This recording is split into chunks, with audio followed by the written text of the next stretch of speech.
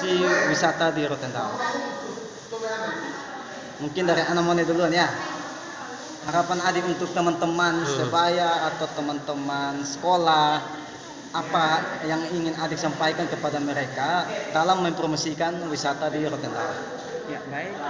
Untuk teman-temanku semua yang di luar sana, yang dari Pulau Rote maupun di luar, saya ingin memperkenalkan Pulau Rote dan sedangkan yang untuk dari dalam, ayo kita jalan-jalan ke Rote saja terus dan nikmatilah pulau surga di pulau di bagian selatan ini. Terima kasih.